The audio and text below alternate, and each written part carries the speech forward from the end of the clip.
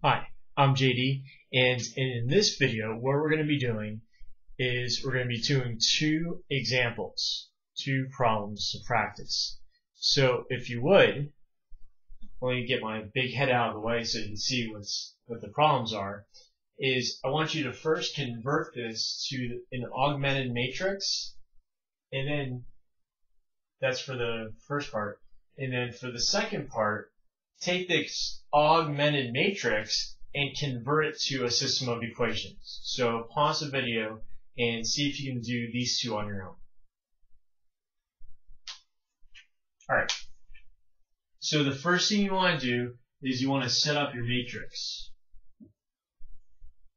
Now an augmented matrix has basically two parts.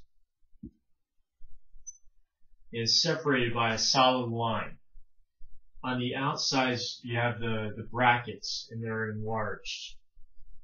Brackets around like a 3 by 3 signifies a matrix.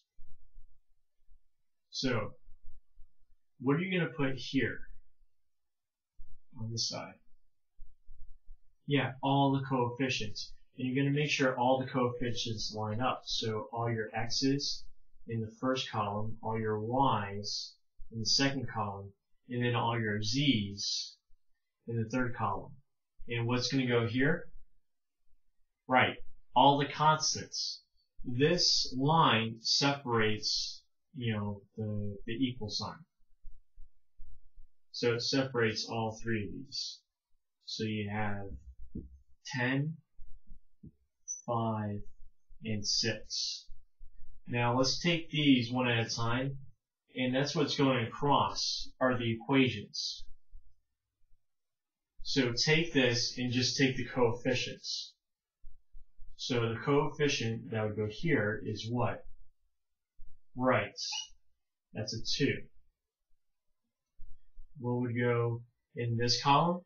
Yeah, the y, which is implied, it's a 1. If you just see a variable, it's implied that the coefficient in front is 1. Same thing with the z. Now let's do this second equation. So what's going to go here? Not a zero, it's going to be one. Kind of, sometimes the equations are tricky, right? The x's, you know, would go here, y's go here, but since there is no y, you have the x. So x is 1, and since there's no y, what do you think you're going to put here? Right, a 0. Now what would go here? Yeah, another 1. Now what would go here in the last row? Right, a 0 because there's no x. The coefficient of the 2y, this term right here, is 2. The coefficient in front of the z, the number in front of the z, is 3. So that's your answer for this part. For this right here, it's going to be the same thing, but it's going to be the opposite. Instead of starting with a system of equations and going to an augmented matrix, you're going to go from an augmented matrix to a system of equations. So this right here is your first equation, second equation, and third and last equation. Again, these are all the coefficients of x, y, and z. And these are all your answers. And this line is the equal sign.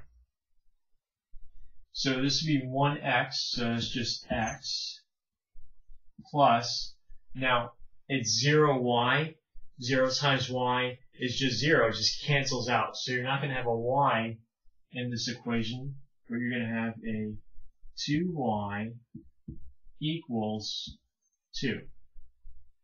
Now the second one is very straightforward. You have 3x minus 2y Actually, this is supposed to be Z. Good call, by the way. So you have 2y plus 5z equals a negative 3. Yeah, you guys probably spot that, right? That was supposed to be a z, not a y. You guys probably did. Alright. Now for the third and last equation, notice that there's going there's not going to be an x and there's not going to be a z. So there's going to be a y, but there's a 1 there.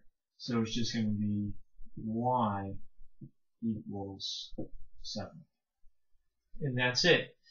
Now, what you can do if you're trying to solve a matrix, you can just take this augmented matrix and convert it to this. Once you convert to this, then you can solve the system of equations because then you can just do substitution and then you can do elimination and substitution or whatever to solve for in here you just have to solve for x and z because you already know uh, y is. So that's it.